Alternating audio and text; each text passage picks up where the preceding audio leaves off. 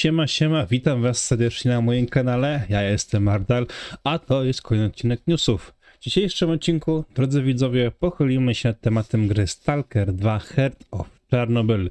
Zachęcam was serdecznie do złamania w górę, do opisania komentarzy pod filmikiem, do zostawienia subika z dzwoneczkiem. Zachęcajcie swoich znajomych do jego subowania, a gdy wbijemy 4000 subików, pojawi się konkurs z fajnymi nagrodami. Tyle tytułem wstępu. Życzę Wam miłego oglądania. No i jedziemy!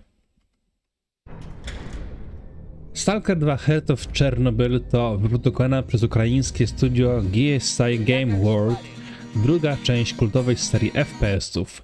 Tytuł ponownie przynosi graczy do postapokaliptycznej zony, tym razem oddając w ich ręce rozległy, otwarty świat. Stalker 2 Heart of Chernobyl jest hybrydą FPS-a, Immersive Sima i survival horroru, a zarazem pełnoprawną drugą odsłoną cyklu zapoczątkowanego w 2007 roku przez grę Stalker Cień Czarnobyla. Połączenie ciekawej fabuły ze znakomitą, choć bardzo wymagającą rozgrywką przyniosło twórcom pierwowzoru sukces finansowy. Tytuł doczekał się dwóch samodzielnych rozszerzeń stanowiących prequel i sequel wydarzeń przedstawionych w oryginalnej grze. Były to Czyste Niebo oraz ze Tyteci. I wraz z nimi rozszedł się w łącznym nakładzie ponad 4 milionów kopii. A mimo to, na oficjalną kontynuację przyszło nam czekać bardzo długo. Tym razem studio GSI Game World poszło z duchem czasu i zrezygnowało z wypuszczania produkcji ekskluzywnie na komputery osobiste przenosząc swe dzieło także na konsole dziewiątej generacji. Akcja Stalker 2 Heart of Chernobyl ponownie przynosi graczy w mroczne tereny zony rozległego terenu wokół elektrowni nuklearnej w Czarnobylu, której awaria w 1986 roku poskutkowała jedną z największych katastrof ekologicznych w historii.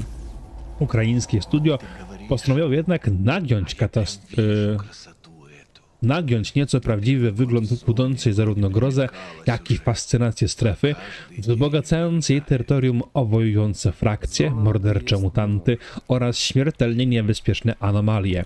Korzeni tych zmian można doszukiwać się w głośnej powieści Arkadia i Borysa Stugackich Piknik na skraju drogi, a także w jej nieoficjalnej ekranizacji w firmie Andrzeja Tarkowskiego Stalker.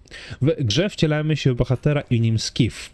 Po tym jak w 2006 roku w czarnobylskim reaktorze doszło do jeszcze jednego wybuchu w centrum zony, pojawiło się potężne źródło energii. Protagonista postanawia przekroczyć granicze strefy i jako samotny stalker rozwikłać zagadkę tajemniczej mocy. To jak wpłynie na niego ta wyprawa zależy od naszych poczynań. Odpowiedzialna to historia ma bowiem nieliniową konstrukcję, a trudne wybory dokonane przez nas podczas zabawy mają wpływ na jej przebieg i zakończenie. Warto dodać, że fabuła drugiego stalkera nie jest bezpośrednio związana z opowieścią przedstawioną w poprzednich grach spod tego szyldu. W grze Stalker 2 Heart of Chernobyl akcję obserwujemy z perspektywy pierwszej osoby, FPP. Autorzy oddają nam do dyspozycji otwarty świat będący jedną z największych map w historii gier wideo. Obejmuje on zarówno gęsto porośnięte dzikie tereny okalające elektrownie, jak i miasta, jak Prypeć i Czarnobyl 2.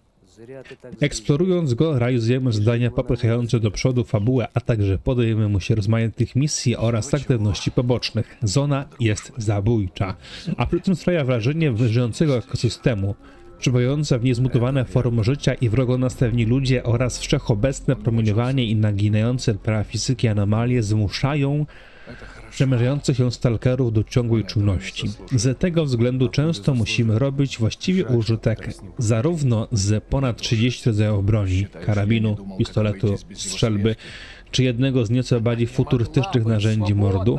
Każdą giwerę możemy przy tym ulepszać bądź modyfikować, jak i ze śrub oraz tzw. Tak gilki, po ukraińsku jednego z gadżetów pomagających w wykrywaniu anomalii.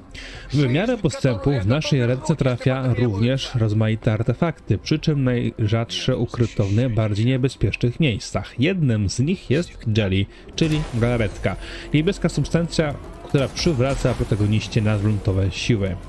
Za realistyczne zachowanie zamieszkujących ją mutantów oraz ludzi odpowiada system A-Life 2.0, dzięki któremu strefa wykluczenia podlega nieustannym zmianom, również takim, których gracz nie jest naocznym świadkiem.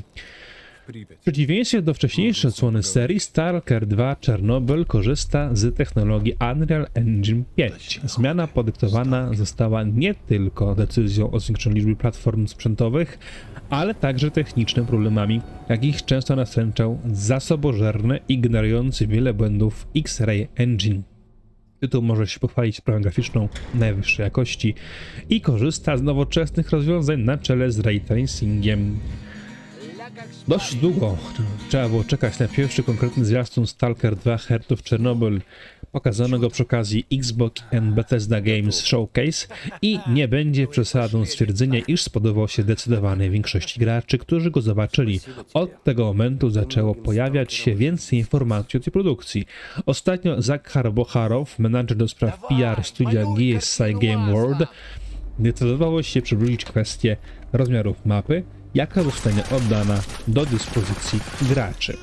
Stalker 2 Heart of Chernobyl będzie bardzo duży. Mapa ma mieć ponad 64 km2. Jeśli niewiele to komuś mówi, dla przykładu Red Dead Redemption 2 oferuje mapę około 75 km2.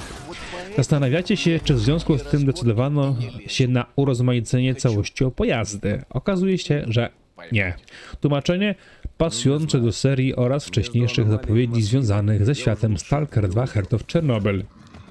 Jednocześnie Zakhar Bocharow zaznaczył, iż pojazdów nie planowano od początku. Zapewne zrobił to nieprzypadkowo, ponieważ w przypadku Stalker Cień Czarnobyla było inaczej, co niektórym się nie spodobało. Nie należy też sądzić, iż po świecie Stalker 2 Heart of Chernobyl można będzie poruszać się tylko na piechotę. Póki co brakuje konkretów, ale wspomniano o systemie szybkiej podróży, która będzie dostępna w niezwykły sposób. Można oczekiwać, że więcej dowiemy się w kolejnych miesiącach. Data premiery Stalker 2 Heart of Chernobyl została ustalona na 28 kwietnia 2022 roku. Gra będzie dostępna na PC oraz na konsolach Xbox Series X i Xbox Series S. Tak, to nie błąd. Na PlayStation 5 nie pogramy. Microsoft postarał się natomiast także o to, aby gra już w dzień premiery trafiła do Xbox Game Pass. To tyle, drodzy widzowie, w dzisiejszym odcinku newsów. Jeżeli Wam się podobał, zostawcie łapkę w górę. Zachęcam Was do pisania komentarzy pod filmikiem, zostawienia subika z dzwoneczkiem. Zachęcajcie swoich znajomych do jego subowania. A jeżeli uzbieramy 4000 subików, popawić konkurs z fajnymi nagrodami. Dzięki za uwagę, drodzy widzowie. Do zobaczenia w kolejnym odcinku. Siema!